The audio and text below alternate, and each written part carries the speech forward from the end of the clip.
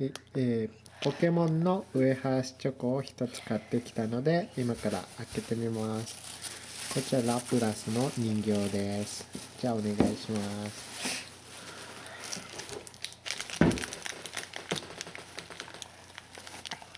24種類あります。じゃあ開けて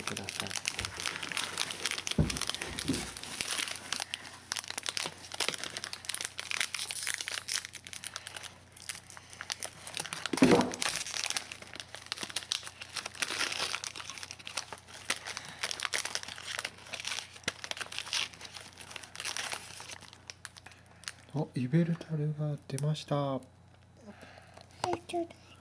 後ろはゼルネアスになってます。